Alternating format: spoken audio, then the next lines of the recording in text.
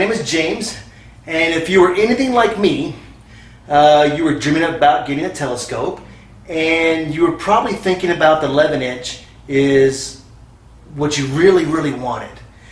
And I'm going to try to show you that this uh, 8 inch telescope can do just about everything the 11 can do uh, under normal circumstances. Um, and there's ways to get around and make it just as even. Now, when I uh, bought my telescope, I couldn't afford the 11 inch. There was just no way. It was way too expensive. But I also knew that I wanted something I could upgrade, so I got the DX mount, so I could use the 8 inch, the 9 inch, the 11 inch. Um, so that's what I got, and that's what I'm going to show you today.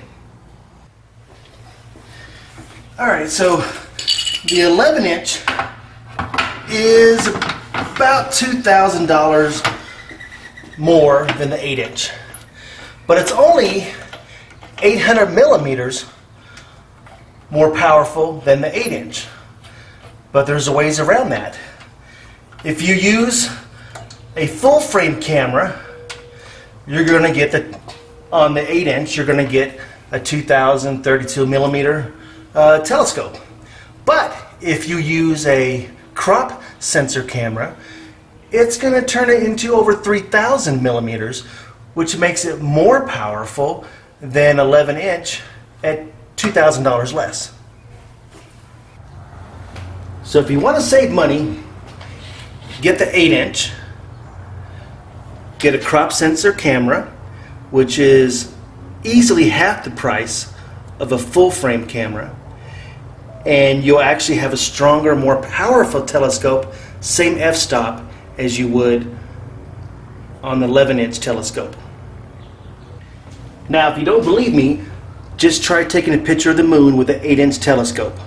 With a crop sensor camera, you're going to find out that you're cutting off part of the moon, a full moon.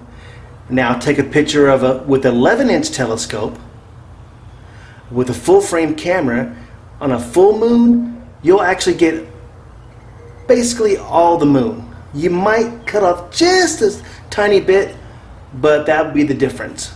So if you want to save money and you want to stay the same amount of power, actually this is more powerful than 11 inch.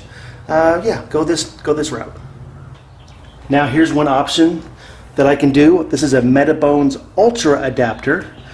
Normally when I attach this to my camera, uh, let's say I had a 50 millimeter lens, it now turns the lens into a 35 millimeter lens, giving me the impression that it, my crop sensor camera now is a full sensor camera. Now I'm not exactly sure what this is doing to the telescope, but what I do know is that instead of the f10 telescope, it's now a f7.1 because this adapter gives me one f-stop faster. So those are just little tiny options you can have to tweak your telescope.